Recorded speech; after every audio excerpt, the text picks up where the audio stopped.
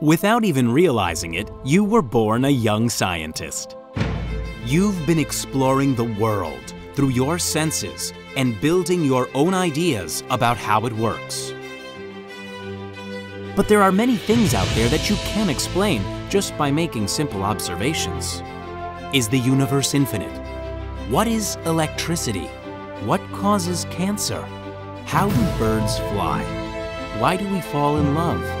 Science intends to answer these and many other questions about the universe. Science is a way of exploring the world to describe and understand everything that occurs around you and inside you. Scientific knowledge also allows us to create technology and use it to change the world. Like art, science is born from our passion and curiosity about life. And it is everywhere. That's why we study science in school. This is a great adventure. Are you in?